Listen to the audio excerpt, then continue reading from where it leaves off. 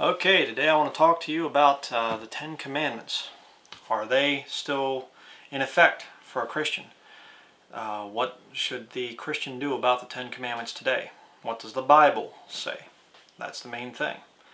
And if you're new to these videos uh, and you're looking for a multi-million dollar studio, uh, you're not going to find it here. It's the wrong channel. If you're looking for a multi-million dollar building that I call a church, uh, you're also at the wrong channel. Um, we are Bible believers. Bible believers in the first century met in homes, they met in the streets, they met in the woods, they met wherever. And uh, I'm not meeting in a multi-million dollar building right now. Okay? But uh, let's go first to 1 Thessalonians chapter 4. 1 Thessalonians chapter 4. Are there commandments given to a Christian? 1 Thessalonians chapter 4 verse 2. Okay, it says here, For ye know what commandments we gave you by the Lord Jesus. Yes, there are commandments for a Christian today. Alright, now how does that relate to the Ten Commandments that were given back in Exodus chapter 20? We're going to look about that in this study.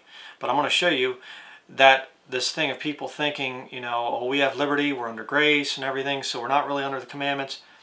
Well, there's some truth to that, but to say that we're not really under the commandments, um, I'm going to show you there's actually a lot more than just 10 commandments for a Christian in the New Testament. But let's go back to Exodus chapter 20. Back to when the original 10 commandments were given to Moses. Exodus chapter 20. I have my notes over here, so that's why I keep looking over this way. Exodus chapter 20 verses 1 through 17. Okay, it says here, And God spake all these words, saying, I am the Lord thy God, which have brought thee out of the land of Egypt, out of the house of bondage. Now here's commandment number one. Thou shalt have no other gods before me. All right? Thou shalt not make unto thee any graven image. That's commandment number two. Or any likeness of anything that is in heaven above, or that is in the earth beneath, or that is in the water under the earth. Thou shalt not bow down thyself to them, nor serve them, for I, the Lord thy God, am a jealous God, visiting the iniquity of the fathers upon the children, unto the third and fourth generation of them that hate me, and showing mercy unto thousands, thousands of them that love me, and keep my commandments. The Catholic Church removes that commandment right there, commandment number two. And they split the tenth commandment into two different commandments.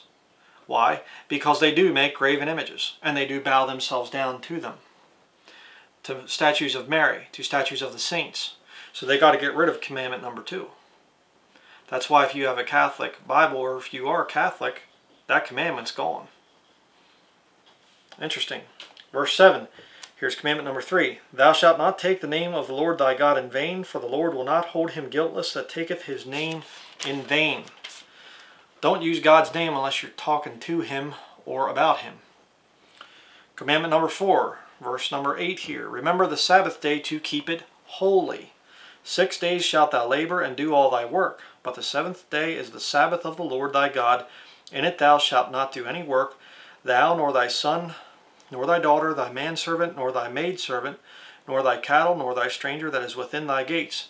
For in six days the Lord made heaven and earth, the sea, and all them all that in them is, and rested the seventh day. Wherefore the Lord blessed the Sabbath day and hallowed it. Okay, now here we have the rest of the commandments in the next couple verses. Uh, verse 12 Honor thy father and thy mother, and that thy days may be long upon the land which the Lord thy God giveth thee.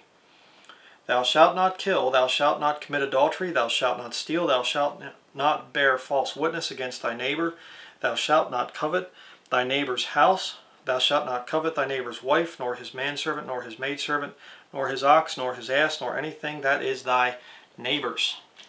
Okay, so there you have the Ten Commandments. And you say, well, those were given to the Jews in the Old Testament, the children of, of Israel, so therefore we don't have to keep any of that today.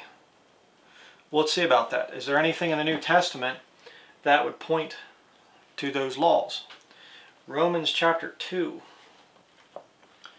I'll show you something interesting here.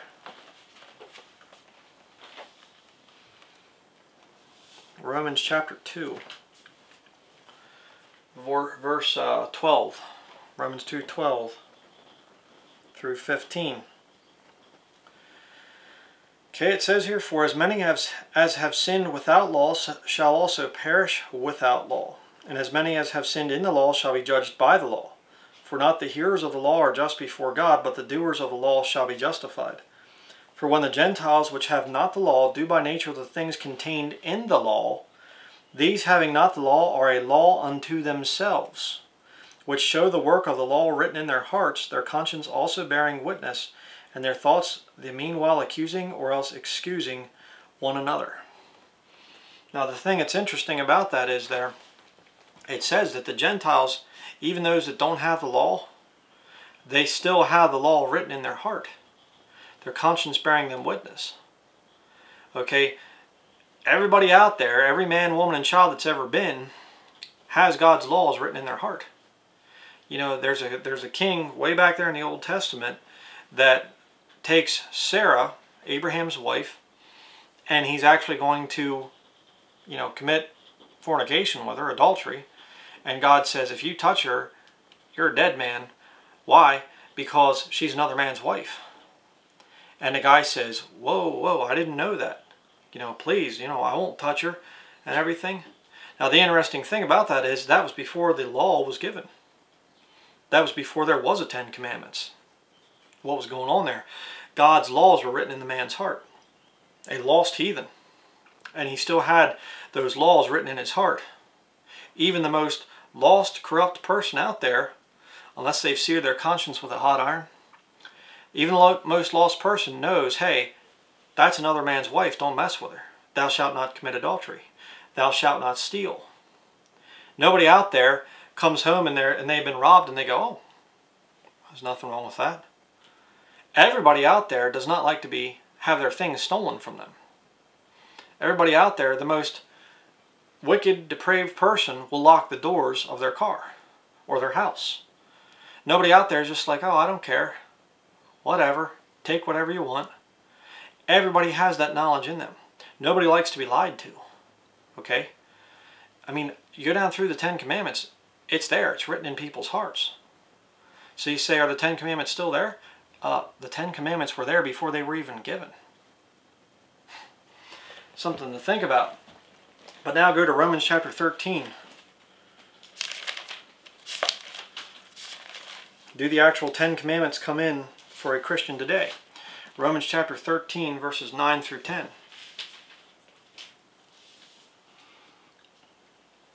says here, For this, thou shalt not commit adultery, thou shalt not kill, thou shalt not steal, thou shalt not bear false witness, thou shalt not covet, and if there be any other commandment, it is briefly comprehended in this saying, namely, Thou shalt love thy neighbor as thyself. Love worketh no ill to his neighbor, therefore love is the fulfilling of the law. Kind of interesting because if you go down through the Ten Commandments, it's all based on love. All of it. Hey, if you love somebody, you know, I love my wife. I'm not going to commit adultery on her against her. You know, I'm not going to go cheat with another woman. No way. Why? I love my wife. I love, you know, uh, the fact of being safe from a thief, so why would I go out and be a thief myself? You know? I'm not going to steal from somebody else. You know, I have enough love for my fellow man to say, hey, he worked hard for that. Hey, she worked hard for that. I'm not going to go steal from him. I have enough love for people out there to not lie to them. You know, even when they want to hear me lie to them. Tell them that things are going to get better and, and that the King James Bible is just a translation and that there's many paths to God and stuff like that. No. If you truly love as a Christian, if you truly love other people, the lost world, you'll tell them the truth. You don't love them if you're lying to them. Even, even if they want to hear the lies. That's not love. But you look at all those different things there. Thou shalt not kill. Obviously, if you're killing people, that's not based on love. It's not motivated about love. You know? So those things are there today for a Christian. But now we, can we find the Ten Commandments, all ten of the commandments in the New Testament as commandments for us today? Well, first of all, we need to look at it as what is the purpose of the actual Ten Commandments as given in Exodus chapter 20? What was the purpose of that? Go to Galatians chapter 3. You know, is there a system, that system of the Old Testament law, can you use it for anything today as a Christian? Galatians chapter 3, verse 19. Alright, look at this. It says, Wherefore then serveth the law? It was added because of transgressions, till the seed should come to whom the promise was made, and it was ordained by angels in the hand of a mediator. Now a mediator is not a mediator of one, but God is one. Is the law then against the promises of God? God forbid. For if there had been a law given which could have given life, verily righteousness should have been by the law. But the Scripture hath concluded all under sin, all under sin there, that the promise by faith of Jesus Christ might be given to them that believe. But before faith came, we were kept under the law, shut up unto the faith which should afterwards be revealed. Uh, wait a second. Just hold on there for a minute. Now this obviously has to be a mistranslation because see people were always saved by faith. Right?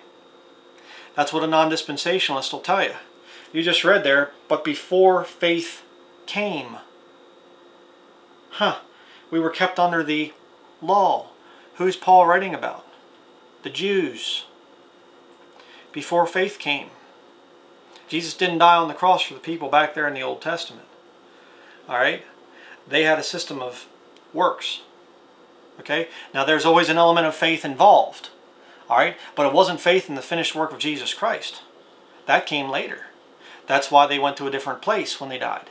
They didn't go directly to heaven. They went down to Abraham's bosom. To be down there waiting for the perfect sacrifice of Jesus Christ. It's right there. Verse 24.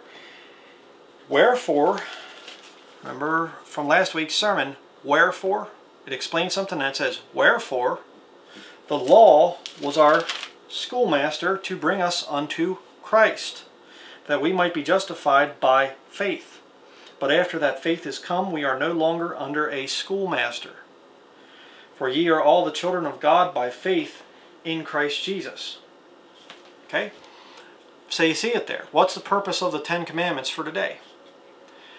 Schoolmaster, to bring somebody to Jesus Christ. What does a schoolmaster do for the children? A schoolmaster comes in and he says, okay kids, okay class, let's learn about America, we'll say. That's where we're at here in this country. Um, when was America founded? What makes us Americans? The schoolmaster teaches children the basics. The law, as a schoolmaster, teaches the sinner that they are a sinner. All right? Some guy says, well, I'm not a bad person. I mean, you ask the average lost person, if you died tonight, do you know for sure where you would go? They Most of them will say, I think I'd go to heaven. Oh, I think I'd go to heaven. You know, why is that? You know what will come out of their mouth the next time? Because I'm not a bad person. Most people are self-righteous. They're trusting in their own righteousness. That's what's going to send them to hell. Okay? And until they repent of trusting in their own self-righteousness, until they understand I'm a sinner and I need to come to God as a filthy, rotten sinner, until they get to that point, they're never going to be saved. Okay? And lead them in some kind of prayer, that's false conversion. Okay? That's why you have these people that have never been convicted of being sinners, and they're out there and they're living just like the lost world, but with a head knowledge of Jesus Christ. And those people are the greatest threat to you as a Bible believer. Hands down, there's nobody that's a greater threat to you than that. Be why? They'll turn you over in a second. Oh yeah, they will. But what you got to do with these people is you take them to that schoolmaster. You say, okay, you're not a sinner. Let me ask you a question. Bible says, thou shalt not bear false witness. Did you ever tell a lie? You know? Well, yeah, everybody tells a lie from time to time. Okay, what's that make you? A liar. The Bible says, thou shalt not steal. Did you ever take something that wasn't yours? Most of them will go, no, I never have. Really? You never cheated on a test? Looked over at somebody, you know, in public school and copied down their answers? That's stealing. You never went to somebody else's property and stole things from them? You never went in the store as a little kid and stole something that you didn't pay for? Mm-hmm. Yeah, right. Come on. Give me a break. Okay, you've stolen. What's that make you? A thief. Have you ever used God's name in vain? That makes you a blasphemer. Have you ever looked on a woman with lust? The Bible says if you look on a woman with lust, you've committed adultery with her already in your heart. So you are a blaspheming, adultering, lying thief. Now, if God judges you by that standard, where do you think you're going to go? Heaven or hell? All of a sudden they start to realize, hey, maybe I'm not such a good person after all. Maybe the only good person is God in the person of the Lord Jesus Christ. That's why he died on the cross to pay for a rotten sinner like me. You see? See how it works? And you say, okay, I think I'd like to get saved. Um, what are those Ten Commandments again? All right, from this day forward, I will never tell another lie. I shall never commit adultery. I shall never um, steal. I shall never kill. I will always honor my father and mother. I will never blaspheme the name of God. I will. You aren't going to be able to keep that. See, the law is our schoolmaster to bring us to Christ. But when you get to Christ, then that's the end of the law. The law has done its, its purpose in your life. And now, in terms of salvation, as far as your eternity, heaven or hell, now the law is done. Its work as a schoolmaster is finished. But here's the interesting thing. If you live as a Christian and you're doing right before the Lord, you will actually still keep the Ten Commandments. Not to stay saved, not to be saved, but because you are saved. He say, prove it. Okay, that's what this study's about. Galatians chapter 5, verse 4. This is for those people out there that think that they have to keep the Ten Commandments to be saved or to stay saved. Galatians chapter 5 verse 4 says, Christ is become of no effect unto you, whosoever of you are justified by the law, ye are fallen from grace. That's one of the things that this Messianic Jew movement is all about. And half the time they're not even Jews. You know, most of the time they have not one drop of Jewish blood in them. They can't trace their ancestry back to Shem they're either of Japheth or Ham most of the time, which is really quite ridiculous. Okay, you better be careful about calling yourself a Jew when you're not one. But you see what they'll do is they'll try to get you back under the law. First they'll start to get you off and try to say Yeshua and, and all this other stuff like that. Start using Hebrew names for words that are in English in your King James Bible. Words that are English that came from Greek you know, and they'll say Jesus is a, is a name of a pagan deity. You know, oh, yeah, okay, whatever. It's only worked for thousands of years, you know, and changed the world in the name of Jesus, you know, like they know what they're talking about. Give me a break. But the whole point is, you follow that movement to its logical conclusion, they try to get you back under the law. And guess what? If you go back under the law to try and justify yourself, you're being self-righteous and you're fallen from grace according to Galatians chapter 5 verse 4. It's not of the Lord. That movement is not of the Lord. Romans chapter 3, we'll go there next. What is the purpose of the law? Romans chapter 3 verses 28 through 31. Therefore we conclude that a man is justified by faith without the deeds of the law.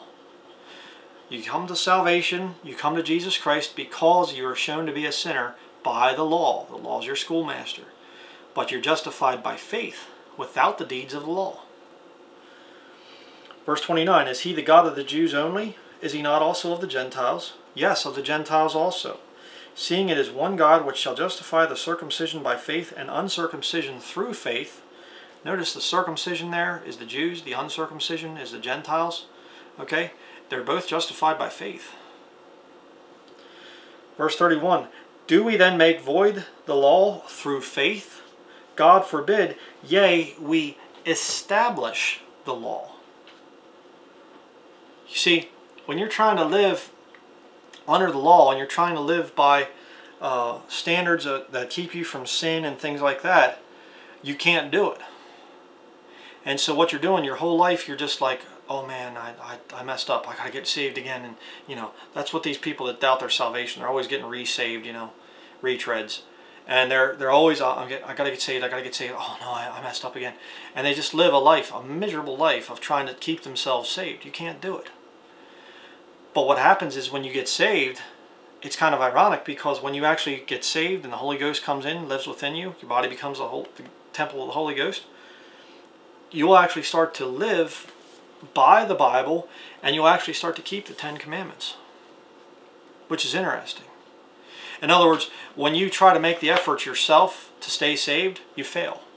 But when you get saved and you're trying to live for the Lord, you'll actually succeed by keeping the commandments. Let me show you. Commandment number one, thou shalt have no other gods before me. 2 Corinthians chapter 4.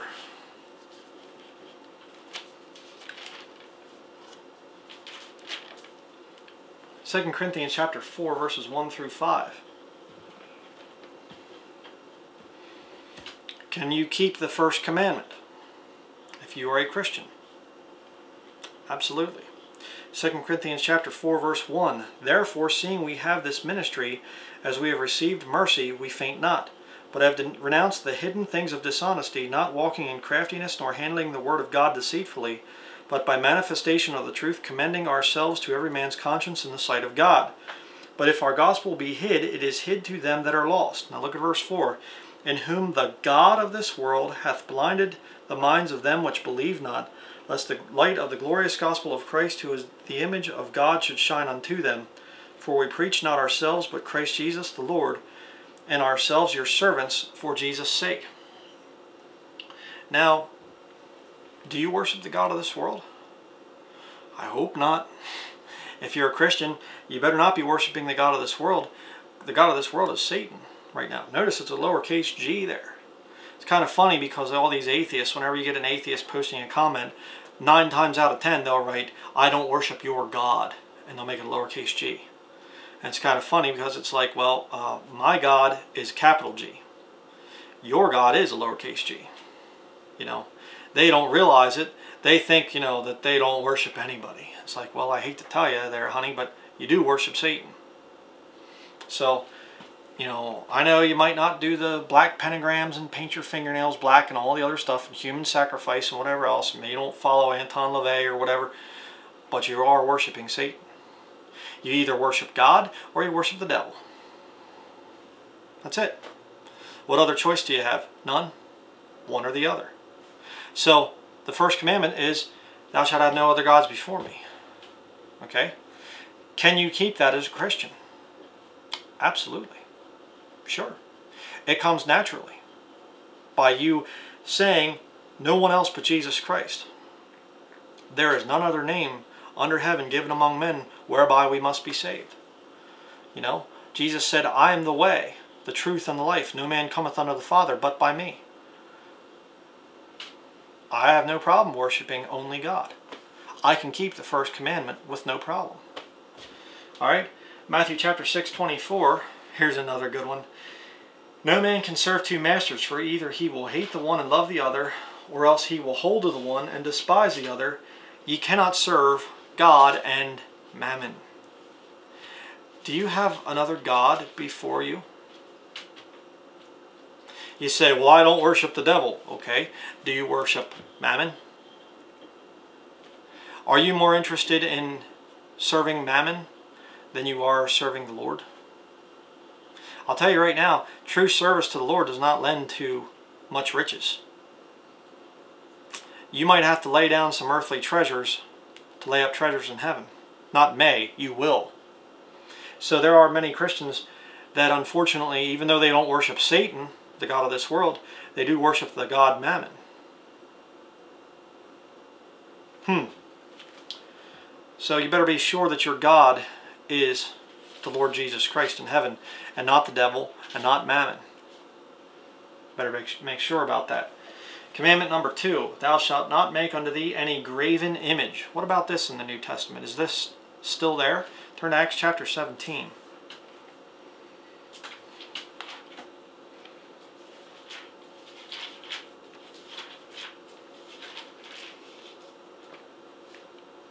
Acts chapter 17. Okay, verses 29 through 31. Forasmuch then as we are the offspring of God, we ought not to think that the Godhead is like unto gold or silver or stone, graven by art and man's device. No, not to worship any graven images? Graven there? And the times of this ignorance God winked at, but now commandeth all men everywhere to repent.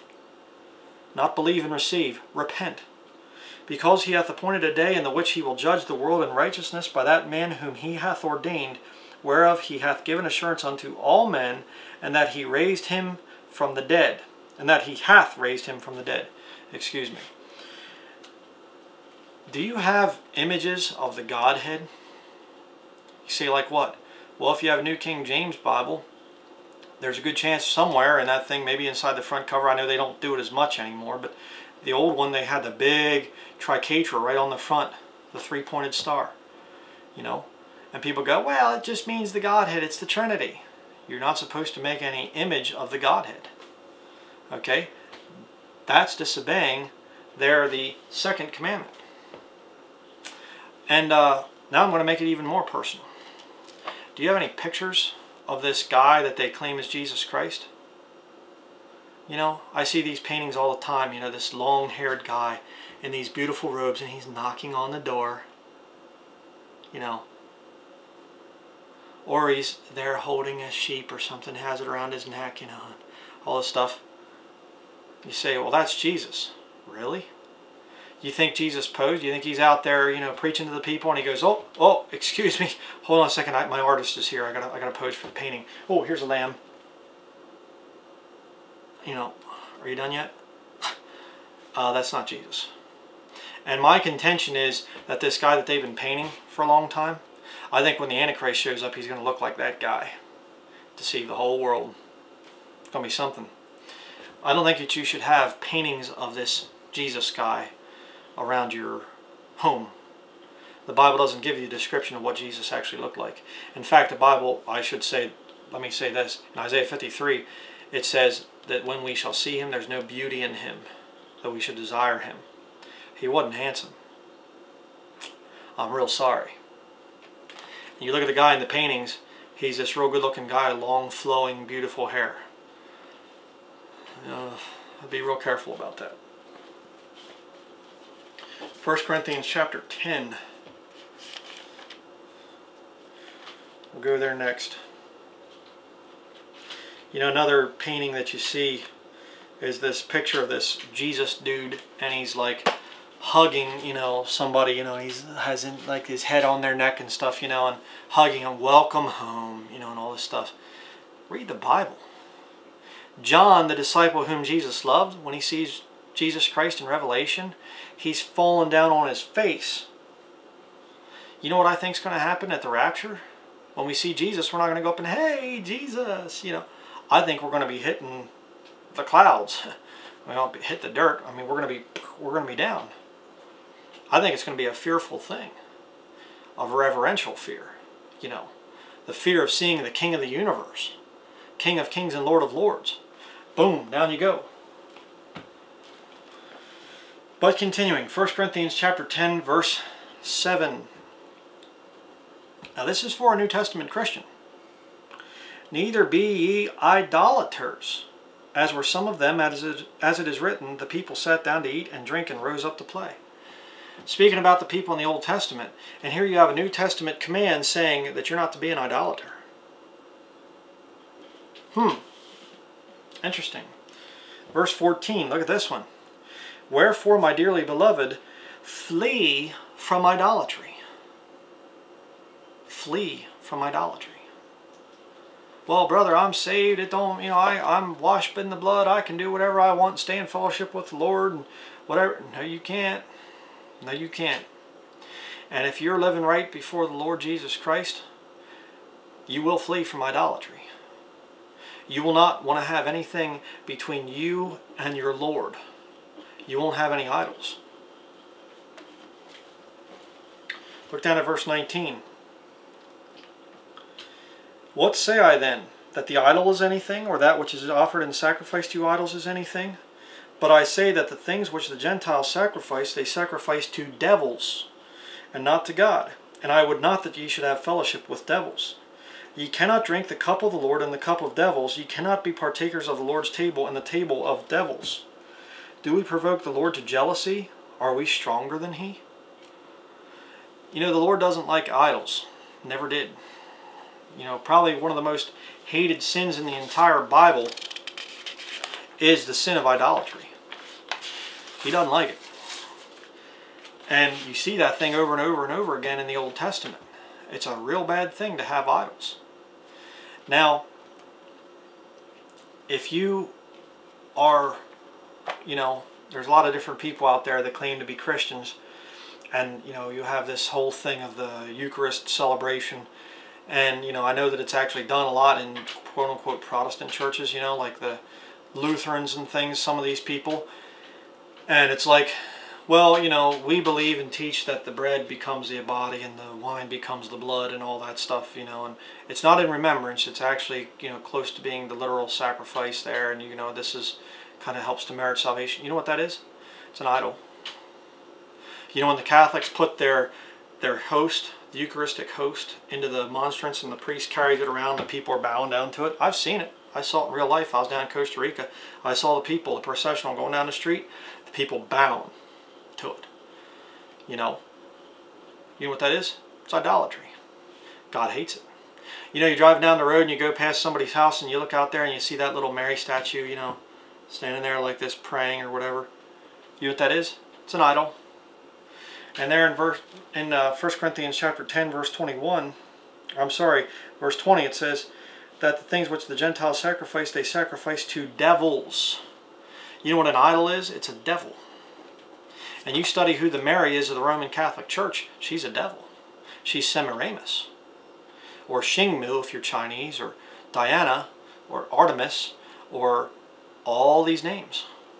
They just recently, you know, the, the pagan Romans came along and they said, let's steal the names from the Bible and teach people that. Because Christianity is getting too big, so we need to usurp the authority of this thing. So they took their pagan deity, Diana, and they said, let's make her into Mary. And it's interesting because look it up sometime, look at some old paintings of old Catholic, Roman Catholic paintings of Mary. She has blonde hair. The old ones. Pure silky blonde hair. And then you study the thing of the Lord of the Rings with John Ronald Reuel Tolkien, who was a fanatical Catholic, and he made his elf witch Lady Galadriel, he made her with pure golden hair. And he had a Jesuit priest write to him and said, this Lady Gal Galadriel, is she a type of Mary? Is she your, your story's Mary? And he said, yes. Mm -hmm. See, Tolkien actually knew what Catholicism was. He knew it was the ancient mystery Babylonian system. That's what his whole story, The Lord of the Rings, the whole story is about that mystery Babylon, Babylon system. Mixed in with Nordic paganism and witchcraft and everything else. He mixed a whole bunch of occultism together and repackaged it and brought it out to kind of indoctrinate the masses into the idea of the occult. And all of a sudden people are going, oh, you know, Gandalf the wizard is a type of Jesus Christ. When the Bible says that you're not to seek after wizards, to be defiled by them. Think of the underlying little thing there, the underlying little theme. You know, you seek after a wizard, you're defiled by it. And Tolkien has a wizard picturing Jesus Christ. I could do a whole thing on that, but the point is, the Roman Catholic Church has idols, and those idols are devils. It's not, oh, Saint so-and-so, it takes away your toothaches. It's a devil. And they learned a long time ago that instead of having these pagan deities and stuff and these weird creatures and everything, you know, no, you just have a saint. And you have a little guy standing there, you know, like that or something. You know, whatever. And you, oh, it's Saint so-and-so, Saint so-and-so. Idols. Idols. That's why they take out the second commandment. You as a Christian better not have those idols in your life. You better get them out. And if you're truly Bible-believing Christian, you don't need idols. You don't need them. You can worship God alone, no other God, and you don't need graven images. I don't need to see pictures of what Jesus might have looked like. I don't need to see it. I have a Bible, and I have faith in the Bible. Commandment number three, thou shalt not take the name of the Lord thy God in vain. 1 Timothy chapter 6, verse 1.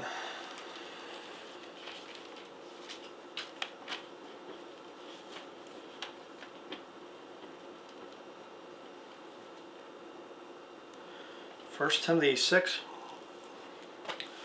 verse 1. I'm going to show you an interesting thing here. It says, Let as many servants as are under the yoke count their own masters worthy of all honor, that the name of God and his doctrine be not blasphemed. Now, this is talking about bond servants, but in a sense, if you're working for a secular boss, a guy that's lost, you want to make sure that you live a good Christian testimony around that guy so that he doesn't blaspheme God as a result of your life.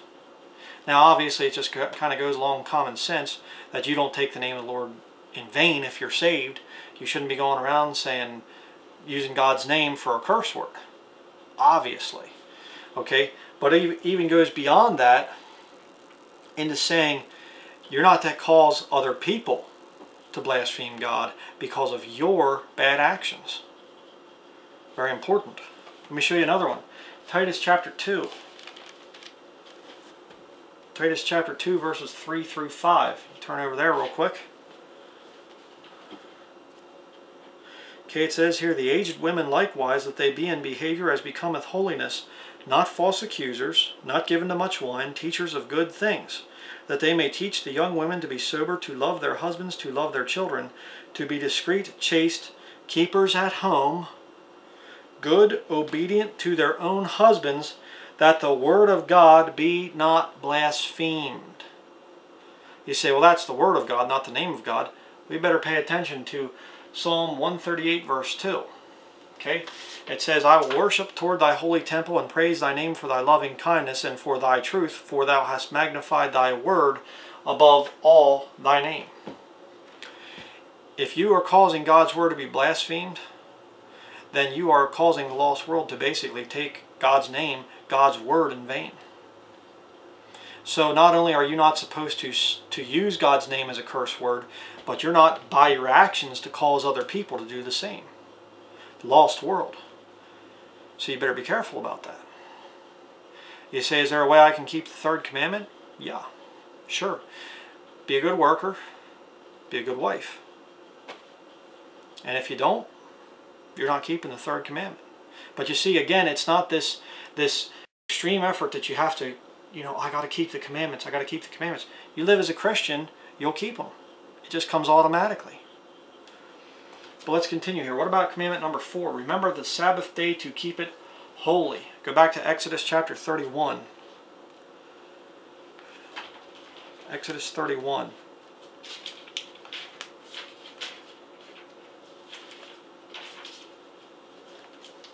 Now this one here, I'm going to show you some things about this. Exodus 31, verse 15 through 17. Okay, it says here, Six days may work be done, but in the seventh is the Sabbath of rest, holy to the Lord. Whosoever doeth any work on in the Sabbath day, he shall surely be put to death. Obviously, that is not for today. Okay, you don't put people to death because they worked on the Sabbath day. It's kind of funny too because the Seventh-day Adventists, you know, they try to get people off on this issue. And yet you don't often see them putting people to death in their system that work on the Sabbath day. But you see the death penalty is connected with it. So if you're going to keep the Sabbath day, then you should also be putting people to death. Well, they, they must have missed that part of the verse. Yeah. Verse 16, Wherefore the children of Israel shall keep the Sabbath to observe the Sabbath throughout their generations for a perpetual covenant. Who? The children of Israel. Verse 17, It is a sign between me and the children of Israel forever, for in six days the Lord made heaven and earth, and on the seventh day he rested and was refreshed. Notice that the Sabbath day is a sign between God and the children of Israel. Okay? So this is one of the commandments that that actual commandment with the death penalty attached to it, no, we don't have to keep that. Why? Because right now the Lord has put off the Sabbath day. You say, well then, he put off the system of the law permanently, it's all done, right? Turn to Matthew chapter 24.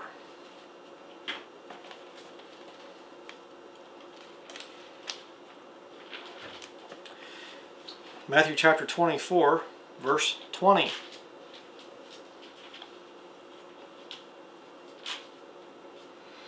But pray ye that your flight be not in the winter, neither on the Sabbath day. Uh, did this event happen yet? No. This is the coming time of Jacob's trouble. The coming time of Jacob. Jacob is Israel.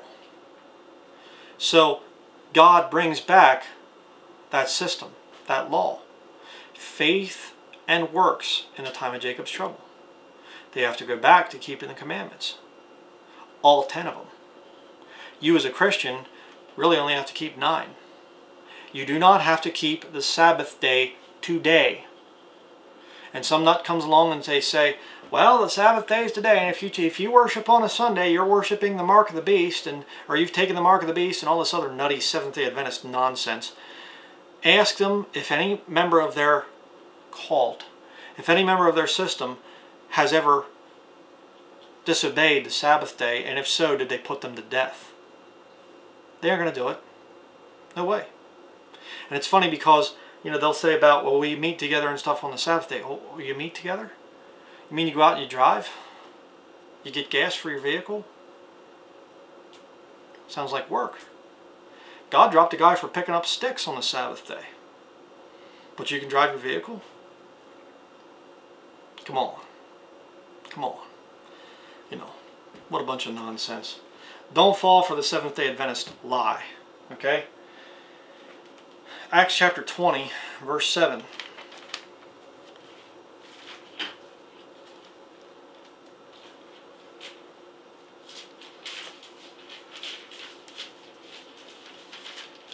You say, well, uh, but the Christians are supposed to meet on the Sabbath day, right? Acts 20 verse 7, And upon the first day of the week, not the seventh day, the seventh day is Saturday, okay? Upon the first day of the week, when the disciples came together to break bread, Paul preached unto them, ready to depart on the morrow, and continued his speech until midnight. Wait a second. The early Christians were meeting on the first day of the week? Yeah. Uh-huh. They were. You know why? Because the Christian church was designed to survive persecution. That's why we don't have actual buildings where you are required to go and meet. We don't have synagogues. We don't have temples. Why? We need to remain flexible. And I'll tell you right now, you look at the majority of church history, there's never been a time for thousands of years, you know, since the very beginning we had buildings that we called churches. No, we didn't. And you study it, study it out, every single building that's called a church, it all ties back to the Catholic Church. Every single one of them. All the Protestant churches, all of them, tie back that they took the practice from Roman Catholicism of having a building there with the ordained clergy up on the pulpit and the laity down in the service there. Every single one of them. You say, well, brother, not the Independent Baptists. The Independent Baptists are not part of the Protestant Reformation. Really? What about uh, John Smyth? He was uh, Anglican before he became an Anabaptist. What about um, Roger Williams? Roger Williams, brother, he was solid, he was fundamental, and he was also Anglican. Study it. Study it. You will see that every single building ties back to Catholicism. Every single one of them. So I don't like that. Well, sorry about that. But it's the truth. Okay? They met on the first day of the week. And if we come under persecution before the rapture, and that's entirely possible, you are not going to be able to meet every week from sun, Sunday morning from 9 to 12. You can't do it. You're going to have to be flexible. Guess what? I really hate to tell you this. I'm going to shock you. Some of you really bad with this as I'm recording this, it's not Sunday morning. no. Yeah. We meet different days. But we worship the Lord all the time. See, that's the other thing about these buildings, these church buildings. You know, when do you worship the Lord? Sunday morning, Sunday evening, and Wednesday. What about the other days? Well, those are my days off. I don't have to go to church then. Uh, aren't you in church in those other days? Well, no, I watch TV in those days. But don't worry, I do plenty of things during the week that I would never do when I'm in church.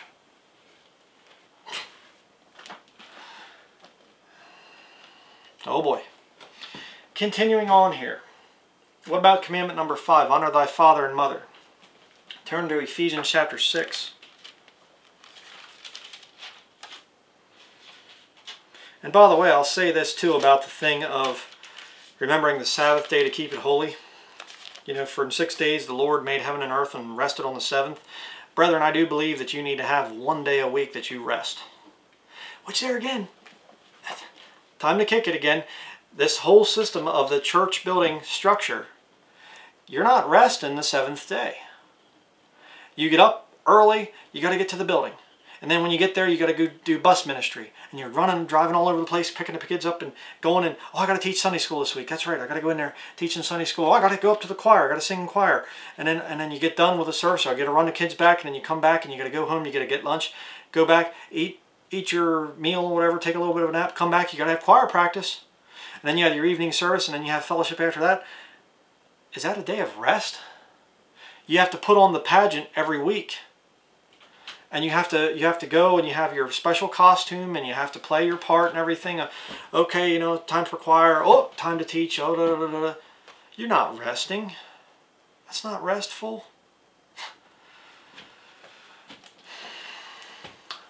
Honor thy father and mother. Ephesians chapter 6 verses 1 through 3.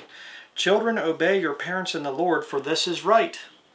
Honor thy father and mother, which is the first commandment with promise, that it may be well with thee, and thou mayest live long on the earth. Okay? Honor your father and mother. Now, is that difficult to do if you're a Christian? Shouldn't be. You say, my parents are lost. What do I do? Honor them. You say, what, by going over and, not judging them or not being harsh with them or anything like that? That's not honor. Honor is going and respecting their home, respecting the rules of their home, but witnessing to them. Speaking the truth in love. See, that's honoring them. And doing nice things for them even if they can't stand you and can't stand your beliefs and things like that. Showing them that you still respect them. Thanking them for the way that they raised you. Putting clothes on your back, food in your stomach. Honor thy father and mother. Not that difficult if you're a Christian. That should come automatically. How about commandment number six, thou shalt not kill? 1 Peter chapter 4.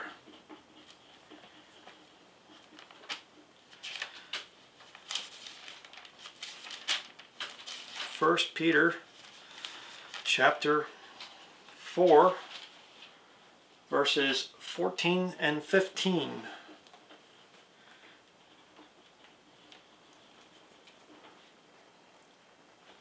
Okay, it says here, If ye be reproached for the name of Christ, happy are ye.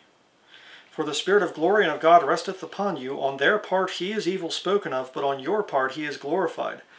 But let none of you suffer as a murderer, or as a thief, or as an, an evildoer, or as a busybody in other men's matters. You're not to suffer as a murderer. You know, you don't kill somebody and then say, I got put in jail. I'm being persecuted as a Christian. No, you're not. You're being persecuted because you're a murderer. And you should be executed for that. Which Paul talked about. You know, he said, if I have done anything worthy of death, I refuse not to die. The death penalty is there for a Christian. But the point is, you're not to suffer as a murderer. And again, this is fairly obvious. This shouldn't take much of an effort on your part as a Christian to not want to murder people. I know sometimes you're tempted to, but You're not supposed to. So it's not that you have to go out of your way and be like, I must keep the Ten Commandments to stay saved. No, it should come automatically as a Christian.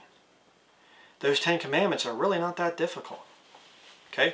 If you have to keep them perfectly to be saved, oh yeah, you can't do that. You fall from grace when you do that. But if you get saved, that should just be part of your life. 1 John chapter 3. 1 John chapter 3 verse 13. Okay, it says here, Marvel not, my brethren, if the world hates you. It's supposed to be.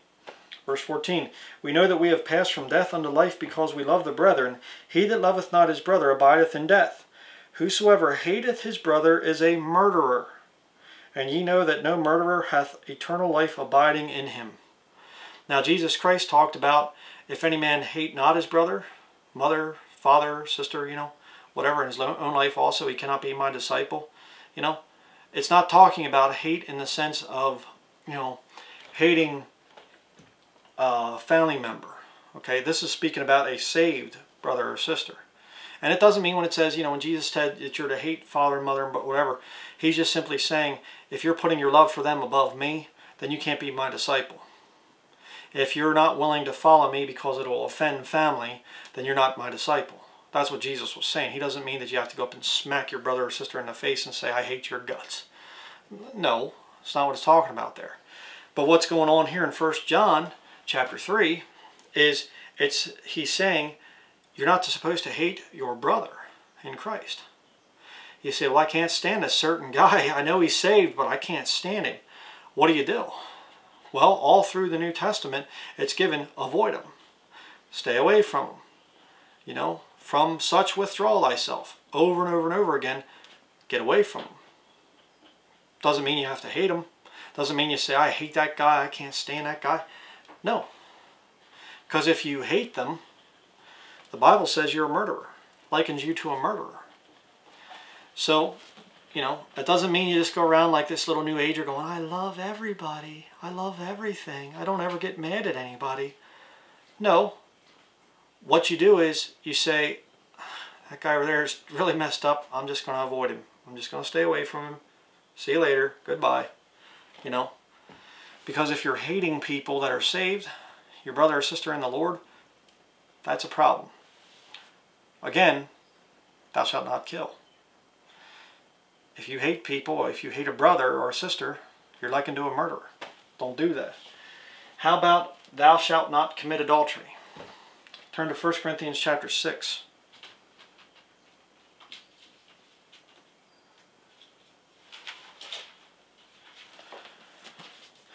First Corinthians chapter 6 verses 15 through 20. Okay, it says here, Know ye not that your bodies are the members of Christ? Shall I then take the members of Christ and make them the members of an harlot? God forbid. What? Know ye not that he which is joined to an harlot is one body? For two, saith he, shall be one flesh. But he that is joined unto the Lord is one spirit. Flee fornication. Every sin that a man doeth is without the body, but he that committeth fornication sinneth against his own body. What? Know ye not that your body is the temple of the Holy Ghost, which is in you, which ye have of God, and ye are not your own? For ye are bought with a price, therefore glorify God in your body and in your spirit, which are God's. Now, any woman that would mess with a married Christian man, I can guarantee you she's a harlot. She might not charge you for that, you know, experience, but uh, if she's willing to join her body with you, she's a harlot. You know, she just does it for free. Okay? Now, Christian man out there or Christian woman, why would you commit adultery? if you have a saved husband or wife, even if you're married to somebody that's lost, why would you cheat on them? You know, that's a problem. Again, if you are living right before God, you don't have to go out of your way to say, oh, that's right, I have to keep thou shalt not commit adultery to be saved. You don't need to do that. It should come naturally. Okay, as a saved Christian, you should say, I don't want to join my body with anybody else. If I join my body with the harlot, then I'm making the members of Christ a harlot. Again, you, you don't have to go out of your way to keep this stuff. It should come naturally as a Christian. If you're a new creature. if you've prayed some prayer without any change in your life, well, there's no telling what you'll do after you get saved. But that's been covered before. How about commandment number 8, thou shalt not steal? Ephesians chapter 4.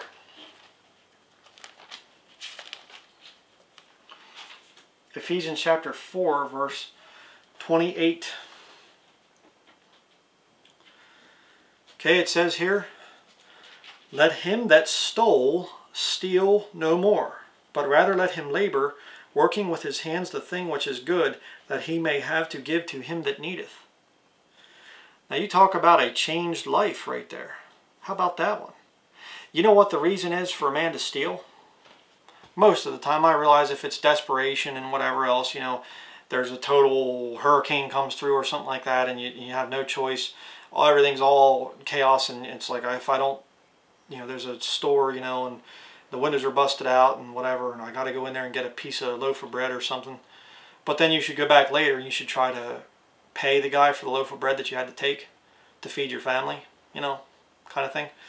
But the main reason people steal is because they're too lazy to work.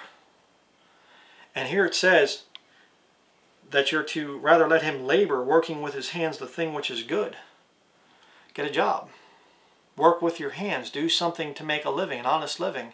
And then, look what it goes on to say, that he may have to give to him that needeth. Isn't that interesting? Here you get some guy as a thief going around robbing people and stealing from people and he gets saved and he goes up and he sees some needy person and he goes, here, this is for you. What does that indicate? It indicates a changed life, a new creature in Christ Jesus.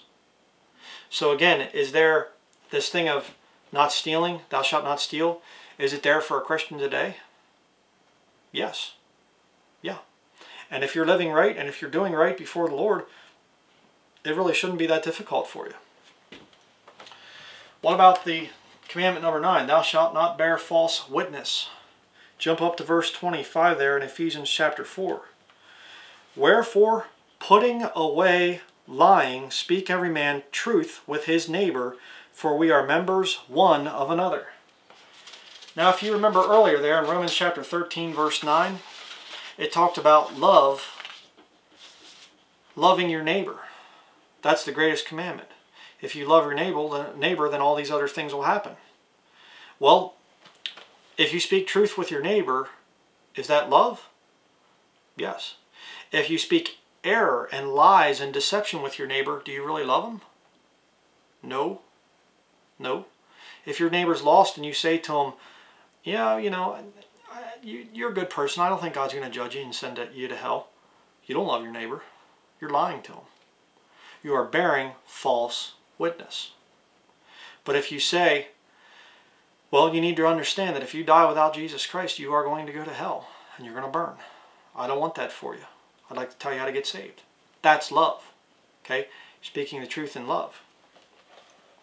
How about commandment number 10? Thou shalt not covet. And it gave the whole list of different things there.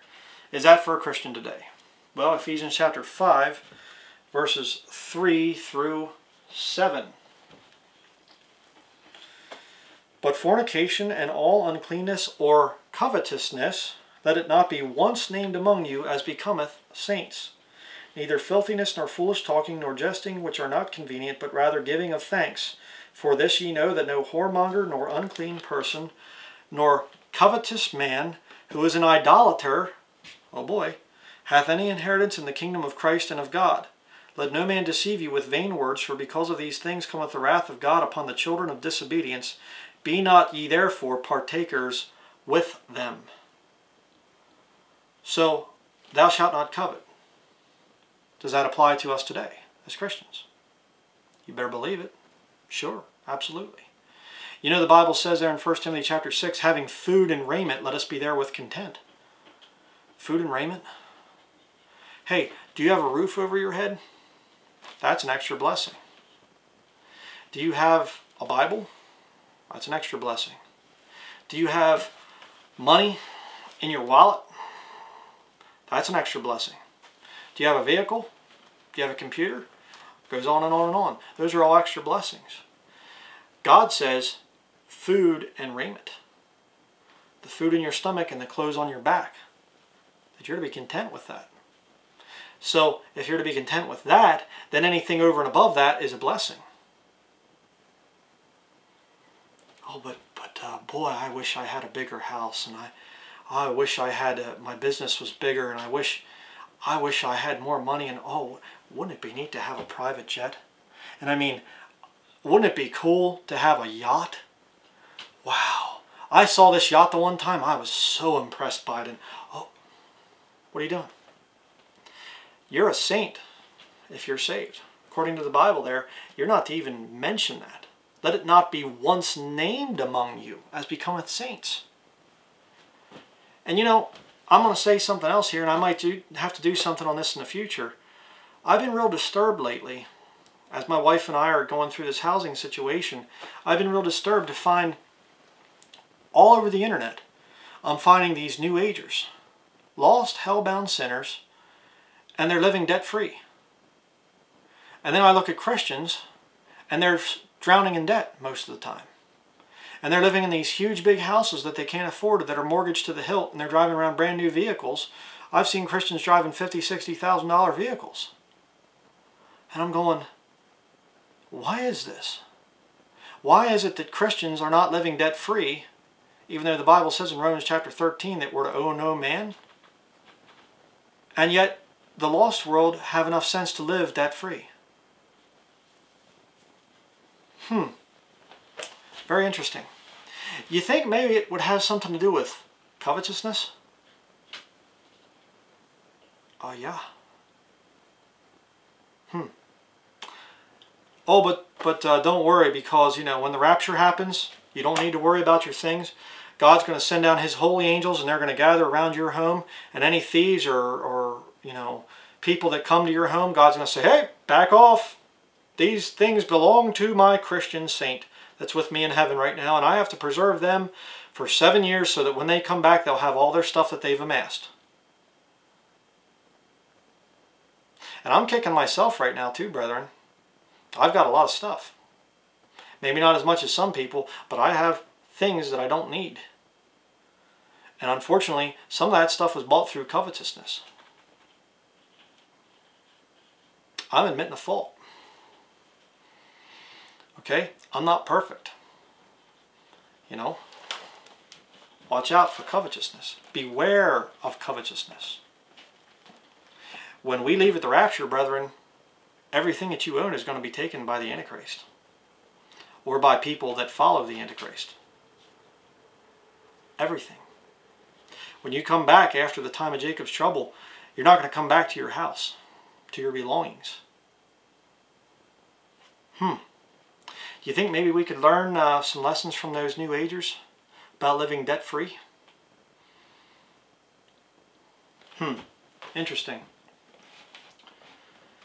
Colossians chapter 3.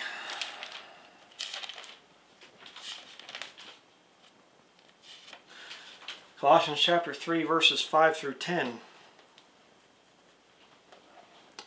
Mortify therefore your members which are upon the earth, fornication, uncleanness, inordinate affection, evil concupiscence, and covetousness, which is idolatry. Notice that none of the others are called idolatry, but covetousness is. Pretty rough, isn't it? Verse 6, For which things sake the wrath of God cometh on the children of disobedience, in the which ye also walked some time when ye lived in them. But now ye also put off all these, anger, wrath, malice, uh, blasphemy, filthy communication out of your mouth. Lie not one to another, seeing that ye have put off the old man with his deeds, and have put on the new man, which is renewed in knowledge after the image of him that created him. You are to be different after you get saved. All right? Watch out for covetousness. If you're living right before the Lord, you'll be content with such things as ye have. Now, that doesn't mean that you can't ever get food because, you know, I should be content with the fact that I have no food. Well, no, there's a necessity there. If you need a place to live, sure, get a place to live.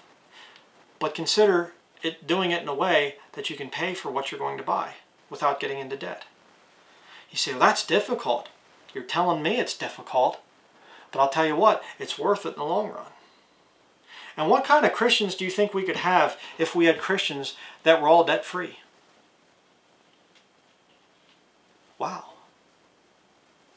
Oh, but uh, brother, I got a building that's called a church. And that building, I mean, I was going to one the one time, the thing was worth over a million dollars, the property. And they still had $150,000 to pay off yet. And they were renting out part of the property to people to come garden there, you know, because they could write that off in their taxes because, see, the whole property was 501c3, so that was a charitable or uh, ministry or something like that that they were doing. It was absurd. It was absurd. They had a couple acres of yard that had to be mowed. Why? Why? What is it? Covetousness. That's what it was. And of course, they kept talking about going back to the old glory days when Jerry Falwell spoke there and, and when uh, Jack Hyles preached there and stuff, you know, and I believe we're going to bring it back, you know, and all this other stuff. Uh, covetousness, brethren. Stay away from it.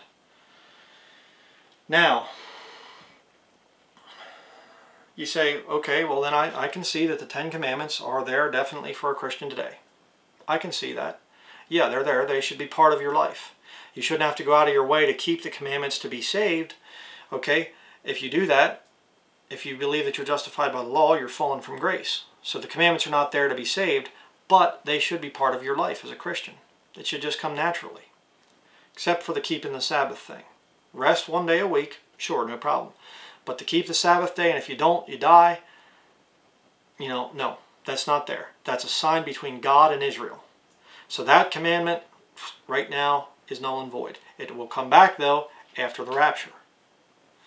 Which, again, is another proof for the pre-tribulation rapture. But um, how about commandments that are not part of the Ten Commandments for a New Testament Christian? If you remember there at the, at the beginning of the study, we read uh, 1 Thessalonians chapter, see where is it here, 4 verse 2. And Paul says that he, we have given you commandments by the Lord Jesus. What are these commandments? Well, let's go to Colossians chapter 3, verses 12 through 25. Now, I want to, we're going to play a little game here, okay? As I'm reading, try to see if you can count commandments. Things that are given. Now, these don't, are not the Ten Commandments, but these are commandments that are given in these verses. Okay? Colossians chapter 3, verse 12 through 25. Here we go. Ready? Put on therefore as the elect of God, holy and beloved, bowels of mercies, kindness, humbleness of mind, meekness, long-suffering, forbearing one another, and forgiving one another, if any man have a quarrel against any, even as Christ uh, forgave you, so also do ye. And above all these things, put on charity, which is the bond of perfectness. And let the peace of God rule in your hearts, to the which also ye are called in one body, and be ye thankful. Let the word of Christ dwell in you richly in all wisdom, teaching and admonishing one another in psalms and hymns and spiritual songs, singing with grace in your hearts to the Lord. And whatsoever ye do in word or deed, do all in the name of the Lord Jesus, giving God, thanks to God and the Father by him. Wives, submit yourselves unto your own husbands as it is fit in the Lord. Husbands, love your wives, and be not bitter against them. Children, obey your parents in all things, for this is well pleasing unto the Lord. Fathers, provoke not your children to anger, lest they be discouraged. Servants, obey in all things your masters according to the flesh, not with eye service as men pleasers, but in singleness of heart, fearing God. And whatsoever ye do, do it heartily as to the Lord and not unto men. Now, I don't know how many you counted, but I counted 20. Okay? Say, let's go over it again. Verse 12. Put on therefore as the elect of God, holy and beloved, bowels of mercies, there's one, kindness, 2, humbleness, 3, meekness, 4, long-suffering, 5. So there's 5 in that verse. Verse 13, forbearing one another and forgiving one another. There's 2. Okay? Verse 14, and above all these things, put on charity. Okay, there's 1. Right? So, so far we're up to 8. All right? Verse 15, and let the peace of God rule in your hearts. There's another one. To the which also ye are called in one body, and be ye thankful. There's two. So now we're at 10. Verse 16, let the word of Christ dwell in you richly in all wisdom.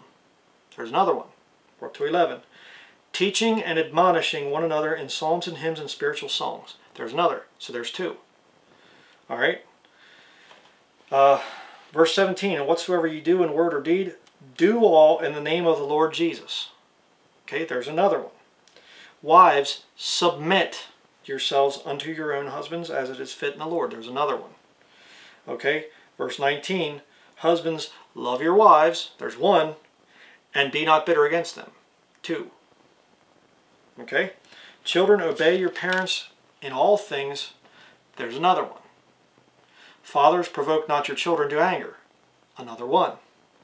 Servants, obey in all things your masters according to the flesh. Another one. And finally, verse 23, Whatsoever ye do, do it heartily as to the Lord and not unto men. There's another one. So there's 20. 20 commandments. Just in a couple verses. Okay, I realize here I have verses 24 and 25 written that I was going to read to. I'll just read those quick knowing that of the Lord ye shall receive the reward of the inheritance, for ye serve the Lord Christ. But he that doeth wrong shall receive for the wrong which he hath done, and there is no respect of persons. So those aren't commandments there, those are just saying, admonishing there. But you see there, just in a couple verses, there's 20 commandments. Let's play again. Okay, 1 Thessalonians chapter 5. Turn over there in 1 Thessalonians chapter 5 we're going to go from verses 14 through 23. Now let's see if we can count these. And you can do this in every chapter throughout the Pauline epistles. You would be amazed how many commandments there are. I have no idea. I was thinking about counting them all up. I thought, man, it'd take me forever to get through them all, count up all the commandments. 1 Thessalonians chapter 5 might be something for one of you to do out there. Uh, verses 14 through 23. Here we go. Now we exhort you, brethren, warn them that are unruly, comfort the feeble-minded, support the weak, be patient toward all men. How many do we have? We have four. Okay? See that none render evil for evil unto any man. There's five. But ever follow that which is good. Six. Both among yourselves and to all men. All right? Verse 16. Rejoice evermore. Seven. Pray without ceasing. 8. In everything give thanks. 9. For this is the will of God in Christ Jesus concerning you. Number 10. Quench not the spirit. Number 11. Despise not prophesying. Number 12. Prove all things. Number 13. Hold fast that which is good. Number 14. Abstain from all appearance of evil. Verse 22.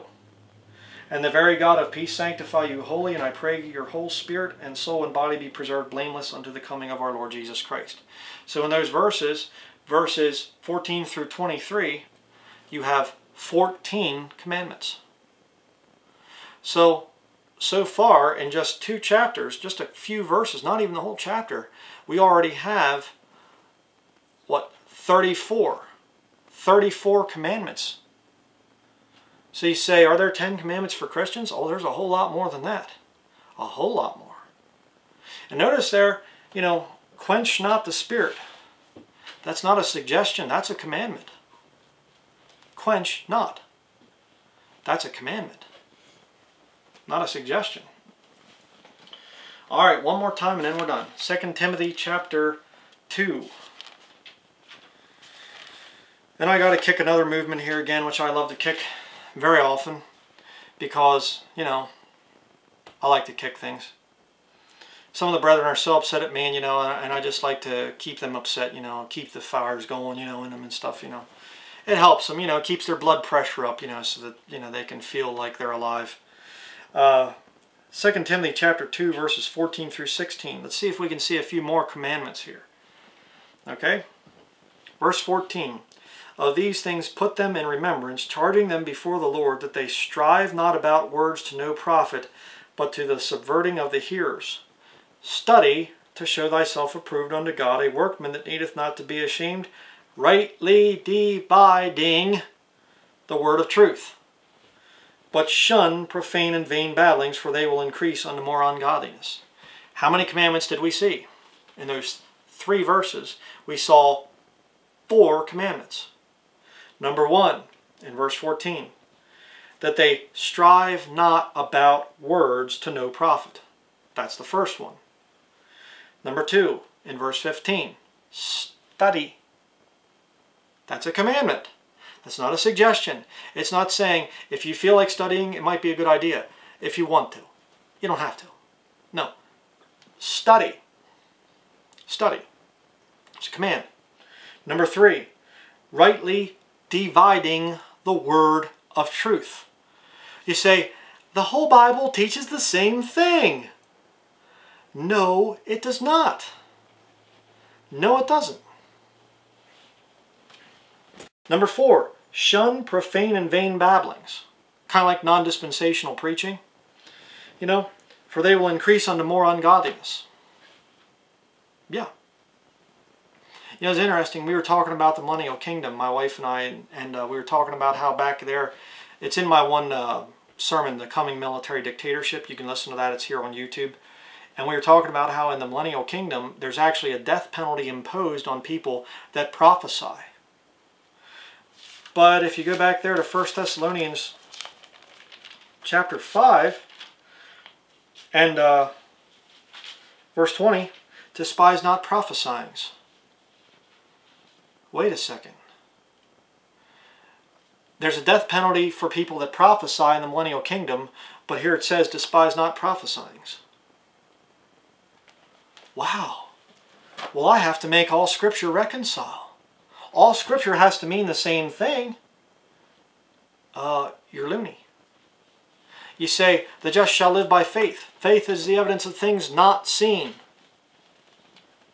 Um, how does that work in the millennial kingdom when Jesus Christ is physically on the earth? Doesn't work. You cannot be justified by faith alone in the dispensation that is known as the millennial kingdom.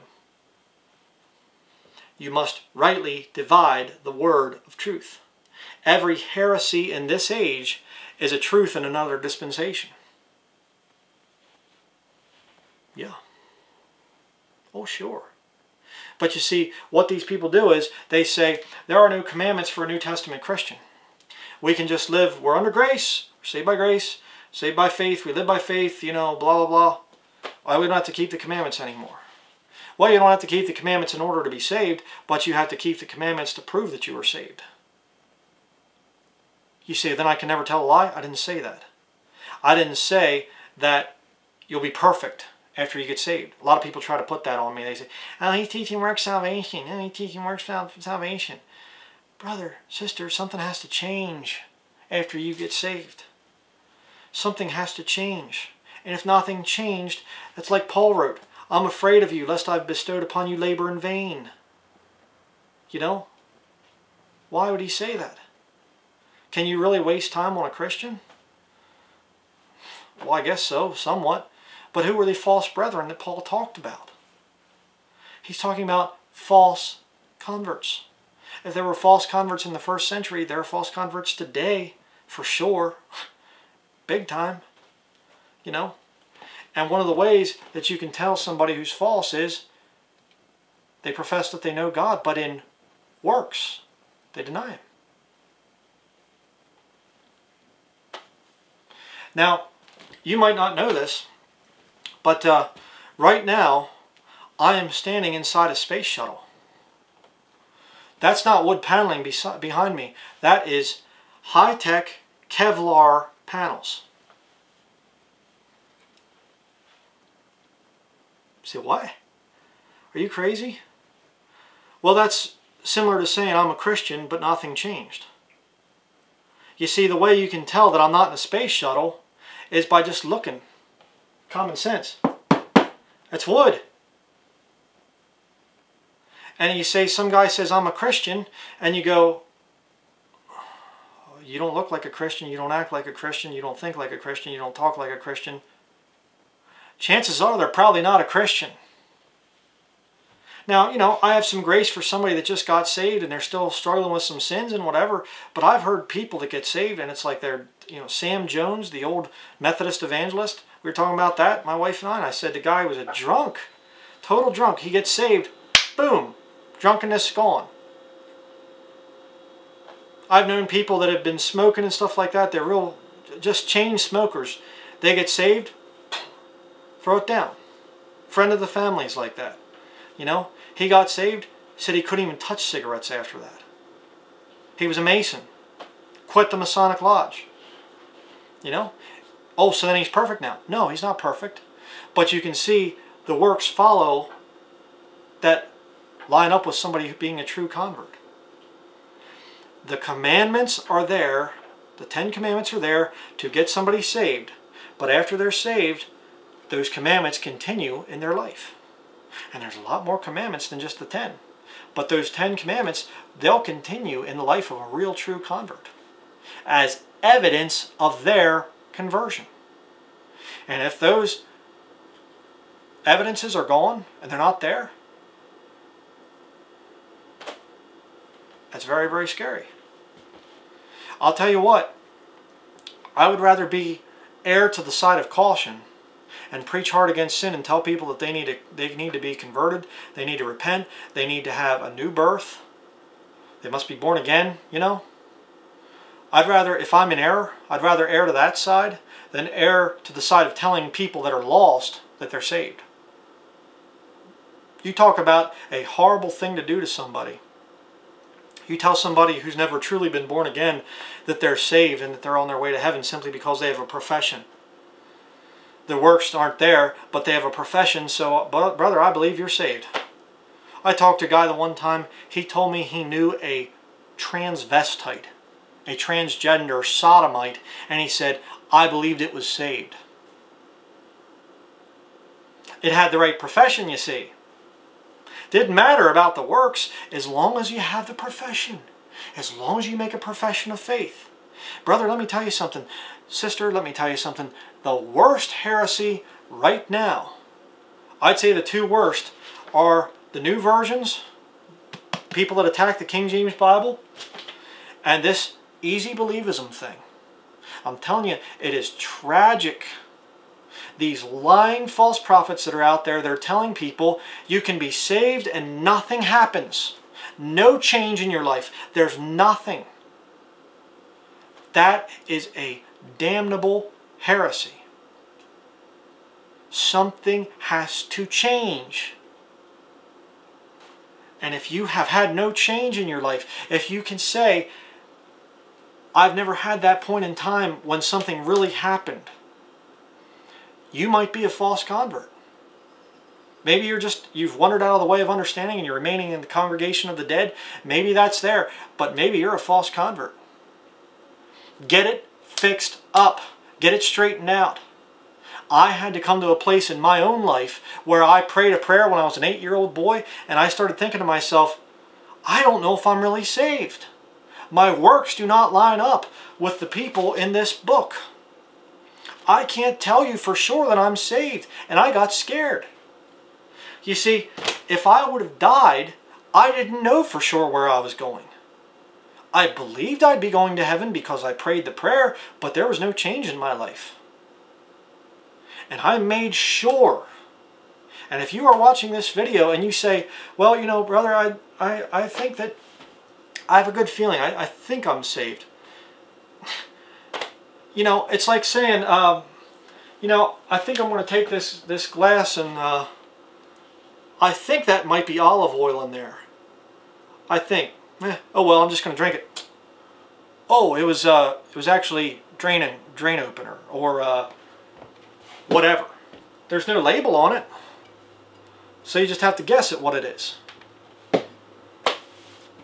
See? Bad idea. Real bad idea. You make sure before you put something into your body. You don't just go fumbling around through the dark and grab something. Oh, it's a bottle. I think I'll take a drink. You'd be crazy to do that. And you're even crazier to fool around with your salvation. And to say, I, I trust that I'm saved because I prayed a prayer and yeah, there's been no change and I'm still really, really struggling with lots and lots of sins and I really don't understand a lot of this Bible believing stuff and whatever else. But I'm saved because I prayed a prayer. What if you're wrong? What if you're wrong? I mean, what if I'm wrong? I'm just a little bit too zealous against sin. Okay. You know, I'm going to get up there to the judgment seat and the Lord's going to say, you know, I really wish you wouldn't have been so rough on sin, Brian. You know, yeah, right. Like the Lord Jesus Christ would say that. I was too rough on sin. Give me a break. You say, well, you're preaching works salvation. No, I'm not. Works salvation is being justified by the Ten Commandments. Saying, I keep the Ten Commandments to be saved. I didn't say that. I said, you get saved, the Ten Commandments is your schoolmaster to bring you to Christ. After that, after salvation, after you come to Jesus Christ and put your faith 100% in Him and His shed blood that He shed on the cross to pay for your sins, after your faith in Jesus, there are to be works meet for repentance. If I was teaching that you keep the Ten Commandments to stay saved, that's works salvation. But teaching that you put faith in Jesus Christ and then works happen, that's not works salvation. That is not works salvation. And there are liars all over YouTube now that are taking my words and twisting my videos to make it look like I'm teaching works salvation. And God will judge them. I, you know, I'm not going to go after them court and stuff like this and whatever. Hey, my videos are copyright free. Okay? If you want to lie about me, go ahead. You'll answer for it. The Lord will recompense. Okay? He'll revenge. I don't have to. But don't be drawn in by this. Don't be deceived into thinking that a prayer is all that's needed and no works. No changed life. Don't be deceived into thinking that. You better be careful. They profess that they know God, but in works they deny Him. I know a lot of people that are like that. You look at their works, their profession can be the nicest little profession you ever heard, but you look at their works, they are corrupt, they are abominable. They look like the world, they talk like the world, they act like the world, they think like the world, and they hate you as a Bible-believing Christian just as much as the lost world does. Why? Because they are the world. They have head knowledge, but no heartfelt conviction. And they're going to go to hell. How very sad. And you preachers out there that are preaching this faith, prayer only, and there's no works at all after salvation, you that are preaching that, if you're even saved, you're going to answer. Because you are ignorant of the scriptures. And you try to ignore whole portions of the Bible that teach against your damnable doctrine. I, am telling you, I mean, I'm getting this thing a lot, and I, that's why I keep mentioning it in a lot of the sermons. I mean, it's getting sick and tired of it. I'm getting sick and tired of it. And I'm going to tell you something. At the rapture, there's going to be a lot of shocked people. A lot of people going, whoa, wait a second. That couldn't have been the rapture because after all, I'm still here. I was a Christian. No, you were a false convert led astray by some lying false prophet that told you that your prayer was enough to save you. And that there's no works meet for repentance. There's no Ten Commandments. Many, many, many more than just Ten Commandments that you keep after you get saved that are part of the normal Christian life. You don't keep them to stay saved. You keep them because you are saved. It's very important. Let's close with a word prayer. Dear Heavenly Father, I do thank you for your word. Without it, we would not know these truths, Lord. And, and we could be easily deceived by many people. We could be deceived into keeping the law to stay saved. And we could be deceived into thinking that a simple prayer is all that's needed and no changed life, no no new creature in Christ Jesus. Just saying words is enough to save. But Lord, we know that both of those systems are in error. We know that we must come to you as sinners according to your word, and we have to be willing to live a life that's pleasing to you after that point in time. We are now sons of yours, daughters of yours, after salvation, and you expect us to live in certain ways. And I thank you for that, Lord. And I pray, Lord, for those out there that are truly saved, true King James Bible believers, I pray that they would be able to see what areas of their life they need to clean up, what areas where they are disobeying your commandments, and seek to come back and restore that fellowship, Lord, so that they'll have rewards one day at the judgment seat of Christ and millennial inheritance when they come back. And uh, Lord, I just pray that uh, you would just continue uh, to show people the truth. And I pray that you would do it through me, through this ministry. If I'm wrong, Lord, then please correct me. But it, I, I pray, Lord, that if there's anybody out there that thinks I'm wrong, that they would use Scripture and and come to me with Scripture, not with their own appealing, opinions and feelings and things.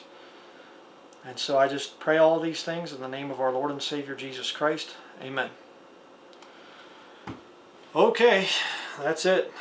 Um, keep trying to do these messages outside, but many times uh, we have to do them inside because of rain and, and whatever else. Um, I don't know if I'm ever going to go back. I'll just throw this out there for people. Uh, what would you like to see in the future when we eventually, you know, have our more permanent setup? Would you like to see the old thing, the old books, the old books backdrop, or would you like to see more outdoors types of things like that? Just curious. Uh, post your thoughts down in the comments down there. Um, I'd appreciate that. I'd like to have input from the body of Christ. I like to have people say, hey, brother, you know, I really like this, or hey, I really like that, or, you know, eh, I didn't really like it when you did this or that, you know. Any suggestions, I'm, I'm always open to that. So that's it. Thank you for watching.